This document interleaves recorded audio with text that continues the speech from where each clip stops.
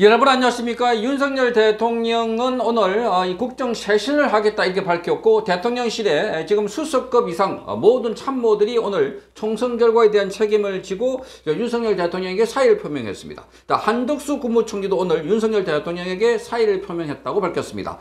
자, 윤석열 대통령은 총선에 나타난 국민의 뜻을 겸허히 받아들여서 국정을 쇄신하고 앞으로 경제와 민생 안정을 위해서 최선을 다하겠다 이렇게 말했습니다. 자, 이관섭 비서실장은 이날 용산 북한에서 어, 브리핑을 통해서 이같이 윤석열 대통령의 메시지를 전했습니다. 자, 대통령실의 고위 관계자는 국정 쇄신에 인적 쇄신이 포함되는지에 대한 질문에 대해서는 자, 국정 쇄신에는 인적 쇄신이 선행돼야 한다 이렇게 말했습니다. 대통령 비서실장과 정책실장을 비롯해서 수석급 이상 참모들이 윤석열 대통령에게 사의를 표명했다 이렇게 밝혔습니다. 자, 그와 함께 한덕수 국무총리도 대통령께 구두로 사의를 표명했다고 전했습니다. 자, 지금 어, 이 어느 선까지 이 사표를 수리할지 자, 대대적인 국정 쇄신이 필요하다 하는 시점에서 그리고 야권의 압승으로 인해서 지금 대대적인 공세가 이루어질 것이다 하는 점에서 자 그래서 윤석열 대통령은 국정 쇄신을 통해서 뭔가 돌파구를 찾을 것 아닌가 이렇게 보이는데 자 수석급 이상 어, 모두가 사의를 표명했다는 겁니다. 사실 지금 대통령실 주변에 있는 사람들도 어, 그동안 대통령을 잘 보좌하지 못했다 하는 것을 잘 알 수가 있습니다. 대통령실에서 어, 문제가 생기면 즉각 즉각 대응을 하고 아닌 경우는 신속하게 대응을 해야 되는데 가만히 팔짱을 끼고 쳐다보고 있다는 비판을 받아 왔던 것이었습니다. 자, 그래서 지금 수석급 이상 전반적으로 좀 쇄신을 하겠다 사의를 표명했다고 하니까 윤석열 대통령이 대부분 수리를 하지 않을까 이렇게 보이는 겁니다. 그러니까 지금 대파 사건이라든지 이종섭 저, 이종석 전 국방부 장관의 대사 발령이라든지 황상무 수석건이라든지 또 그리고 의료 분쟁 이것 건에서도 자 민심과 동떨어지게 빨리 대응하지 않고 그리고 이걸 질질 끌어왔다는 점에서 그래서 윤석열 대통령의 올바른 판단을 하지 못하게 했다 하는 지적도 받아왔던 것이었습니다. 더군다나 이 의료 어, 이, 이 분쟁 말하자면 의과 대학생들을 늘리는 문제 이게 총선 임박해서 이 문제를 이슈로 부각시켰다는 것 자체부터가 자책골이라는 겁니다. 그리고 이것 여러 차례 만남에 통해서도 자 2천 명 선을 고집하겠다 하는 이야기가 계속 나왔다는 것도 그렇고 자 이런 걸 보면 이제 대통령실에서 너무나 아, 국정 경험이 없는 아마추어들이 자 그러니까 눈치만 보고 말을 하지 못한다는 비판을 받아왔는데 오늘 대통령실에 자 사의를 표명했다 하는 것을 보면 좀 전반적인 쇄신을 할 것으로 보입니다. 그리고 한 한덕수 국무총리 오늘 아침에 자, 이 국무회의를 주재하면서 민생을 겸허하게 받아들이겠다. 국정 어, 전반을 도달해보겠다. 이렇게 말했는데, 자, 사의를 표명했다.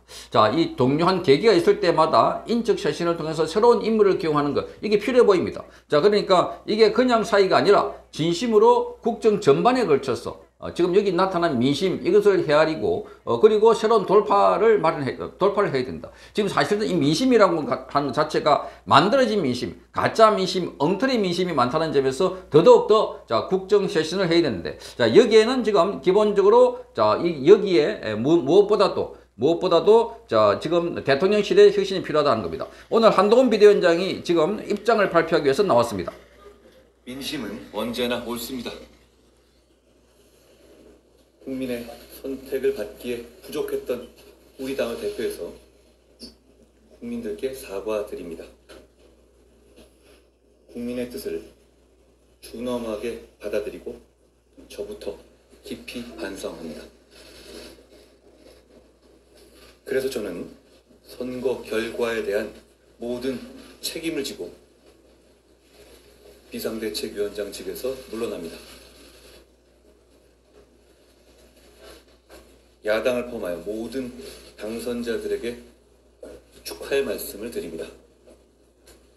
국민의 뜻에 맞는 정치를 부탁드립니다.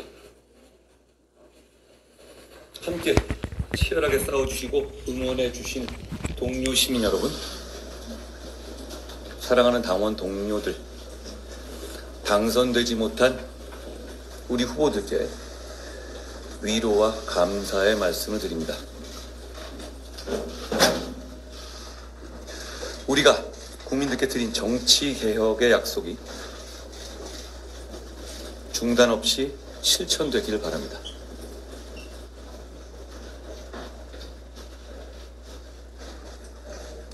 어떻게 해야 국민의 사랑을 되찾을 수 있는지를 고민하겠습니다.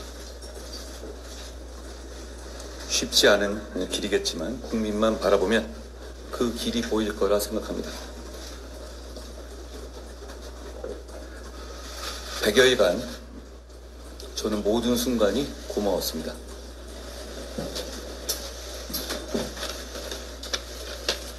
제가 뭐 따로 길게 질문 받을 건 아닐 것 같고요. 뭐 특별히 더 물어보실 게 있으신지 자, 한동훈 비대위원장이 오늘 이 건과 관련해서 자, 입장 비대위원장에서 물러난다. 그렇게 발표했습니다. 오늘 전반적으로 자, 국무위원들 가운데 지금 한덕수 국무총리가 자, 사의를 표명했고 자, 수석들도 사표를 내겠다. 사의를 표명했습니다. 자, 이 한동훈 비대위원장도 추가 입장을 발표하고 있는데 약속을 다 지키겠다. 이렇게 말하고 있습니다. 자, 이 뭐- 몹시 초치한 표정이고 피로해 보입니다. 자, 제 책임입니다. 모든 것이 자기 책임이다. 이렇게 말하고서 짧게 짧게 지금 답변을 하고 있습니다. 여러분이 분석하시는 것이고 국민들의 어, 마음을 얻지 못한 것이라고 생각하고 그 책임이 오롯이 저에게 있다고 생각합니다. 국민의 에, 마음을 얻지 못한 책임은 한동훈 비대위원장에 있다. 이렇게 에, 말하고 있습니다. 그건 제가 그 그분들의 의사를 뭐 강요할 문제는 아니기 때문에 제가 책임지고 사퇴하는 것이다라고 말씀드립니다. 이 정도 말씀드리겠습니다. 고맙습니다. 한 가지만 더 말씀드리겠습니다. 혹시 향후 지도부 관련해서 좀 당과 논의하는 부분이 있는지도 알고 싶습니다. 제가 이미 충분히 답변을 드렸다고 생각합니다.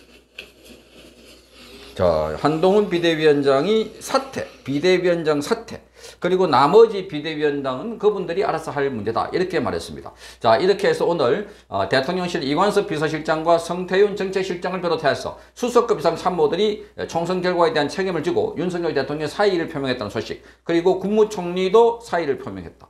자, 그래서 전반적으로 지금 쇄신의 바람이 불고 있다는 소식을 여러분께 전해드렸습니다. 성창경 TV였습니다.